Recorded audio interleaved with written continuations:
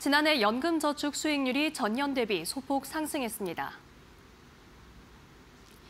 금융감독원이 오늘 공개한 2021년 연금저축 현황에 따르면 지난해 연금저축 수익률은 4.36%로 전년 대비 0.18%포인트 상승했습니다.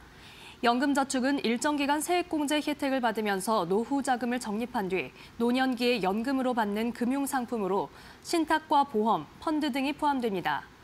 이중 펀드의 수익률이 13.45%로 가장 높았고 생명보험사의 연금저축보험은 1.83%, 손해보험사의 연금저축보험은 1.63%로 뒤를 이었습니다. 은행의 연금저축신탁 수익률은 마이너스 0.01%를 기록했습니다. 한편 작년 말 기준 연금저축 총 적립금 160조 1천억 원 중 보험이 111조 원으로 전체 적립금의 69.9%를 차지했습니다. 펀드가 15.2%, 신탁이 10.6%로 그 뒤를 이었습니다. 지난해 연금저축 총 납입액은 9조 9천억 원으로 전년보다 1.8% 늘었습니다.